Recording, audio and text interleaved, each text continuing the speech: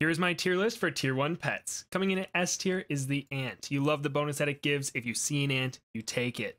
Beaver, I'll put solid B tier. It's nice when you sell it, gives some extra health to your, your other pets. Uh, cricket is like a free B. You put it at the end of your lineup and it can give you some cheeky wins. And it pairs well with the horse. The duck used to be amazing. And since it's nerf, I've kind of struggled with it. I'm putting it C tier, kind of hard to use. Now the fish. The fish is an easy A. Great stats, plus if you upgrade it, it gives great boosts. The horse, I'll put B tier. It pairs really well with the cricket and it gives you a nice little buff for the first time buy of your pets. Mosquito, I'm going to put A tier just because it counters the horse and cricket super hard. The otter, I'm going to put A tier, great buff upon buying it. And the pig, I have to put D tier. I skip a pig every single time, unless I get three of them right off the bat. Then I might take it.